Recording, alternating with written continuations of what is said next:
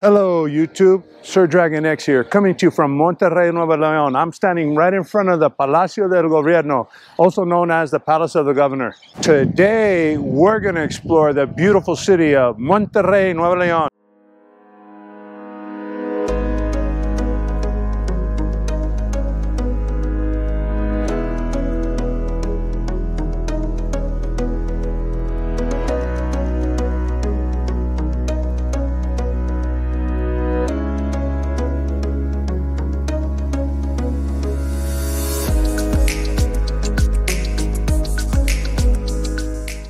Welcome back to Retired Life in Mexico. No bull. Not only will we present you with the facts, but we present you with the true reality.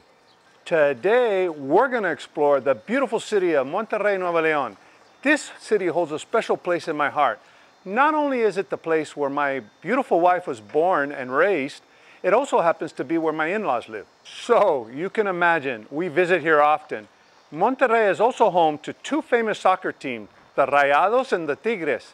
It just so happens that I'm wearing my Tigres shirt because my father-in-law graduated from the university where the Tigres play. This city is rich in history and culture, and that is why it is also one of the most developed cities in Mexico. And a special shout out to my brother-in-law and sister-in-law that lent me this terrace with this beautiful view. More importantly, Monterrey holds a very, very special value to me.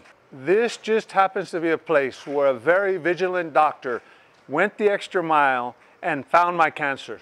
Not only was my cancer detected early, thanks to the outstanding medical care of some of the best hospitals in the world and the latest medical technology, my treatment was a success. I guess you could say that Mexico, specifically Monterrey, saved my life.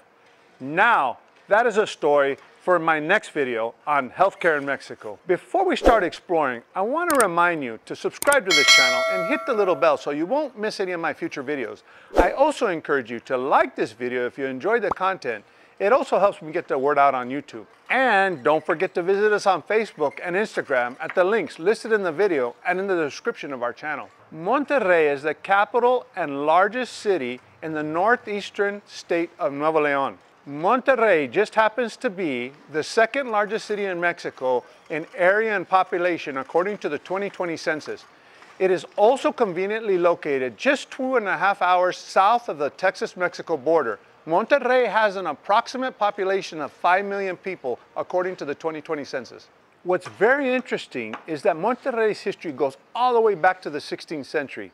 The Spanish expeditioner Luis Carvajal de la Cueva established a territory called Nuevo León, and in 1582 he established a settlement called San Luis Rey de Francia. The territory of Nuevo León remained mainly abandoned and uninhabited for eight years until Diego de Montemayor founded the city called Ciudad Metropolitana de Nuestra Señora de Monterrey. This can be translated in English as the metropolitan city of Our Lady of Monterrey.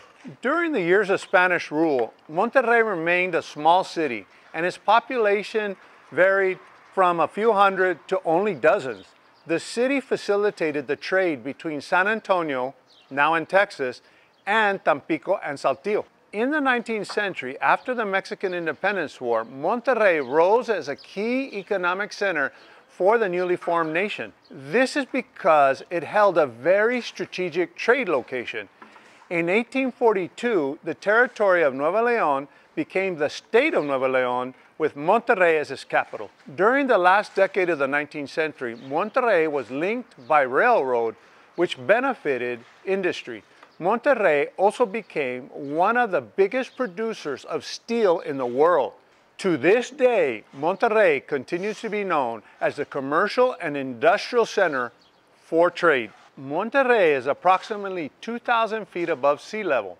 Monterrey lies in a valley surrounded by mountains, the most famous known as Cerro de la Silla. Cerro de la Silla is named because of its distinctive shape and it looks like the saddle of a horse. Monterrey is also known as La Ciudad de los Montañas, translated into City of the Mountains.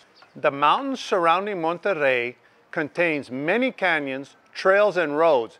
and many are suitable for hiking. There are many attractions in Monterrey, but one of the most famous is a waterfall called Cola de Caballo, translated in English into horse's tail. The reason why is it resembles a horse's tail. Now, as far as cost of living, that varies widely. We have friends and family that live here on approximately $2,000 a month, but that is because they own their home and do not pay rent and their property taxes run around $200 a year. With that being said, the cost of living expenses here can be kind of expensive, just like other major cities in other countries. Now, the cost of housing is totally based on location. The median housing cost in a decent neighborhood is between anywhere from $250,000 to $500,000. Rent also varies widely depending on location.